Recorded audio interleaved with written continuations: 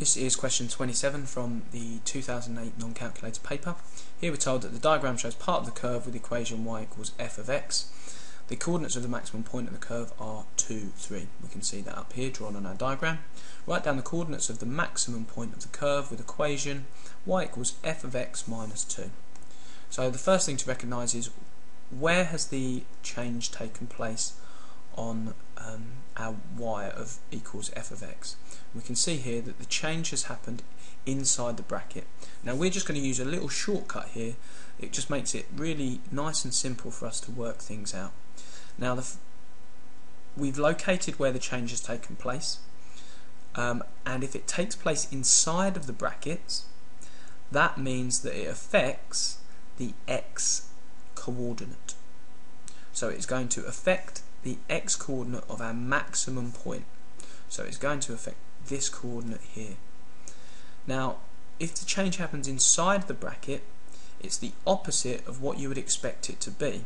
So the opposite of negative 2 is plus 2. So this coordinate, our x coordinate, is going to change by plus 2. So our x coordinate is going to be 4 there are no changes that have happened outside the bracket, so our y coordinate stays the same. So we get 4, 3. Part B, y equals 2 of f, 2 f of x. So in this situation we can see that there has been no change inside the bracket. The change has occurred outside of the bracket. So because the change has happened outside, this affects our y coordinate. So we can say straight away that the x coordinate is going to be unchanged because there are no changes inside the bracket. There's no change to that x inside that bracket. So what's going to happen? Well, it's changing our y coordinate and if the change occurs outside of the bracket, it does exactly what you would expect it to do. So if it is inside the bracket, it affects the x coordinate and it does the opposite.